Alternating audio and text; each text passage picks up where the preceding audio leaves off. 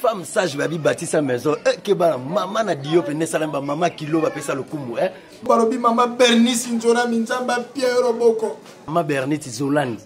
na mama na biso nana kalema toye lisusu evenema moko ezorenena mikolo oyo le 19 juillet 4 août femme en or femme en or ba organiser événement mingi mingi nde ba se associer na idéologie ya spéciale journée oyo ba organiser eza le 19 juillet au 4 août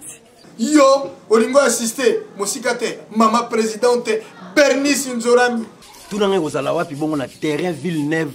Saint Georges eh, na rue de Sapeur Pompée. Bari bango moko te bari basi ya poto hein. Faut faire très attention. Femme en or. Boya wana pe na bino tout evenema eza mobange ya kosakana te ya kafuba tunanga sikoyo baorganisateur eza banani bamama ya kilo bapesa lokumu avec nana karemba présidente de l'association saint tropez mama bernice nzolani présidente ya association femme nord à part idée vision mare aza mpena moto ya bainitiative ebele ekosalema le 19 juillet au 4 août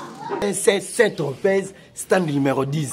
en tout cas mama pena ya kilo soki ozangi evenement oseki oza mama te bamama pena basangisi bino bapesi dio ah, yo ya bongo ozanga jamais check bino tout evenement eza se moko ndenge tozilaki evenement 97 départ ya mobutu entre afdel ndenge tozozila evenement oyo femme en or c'est l'historien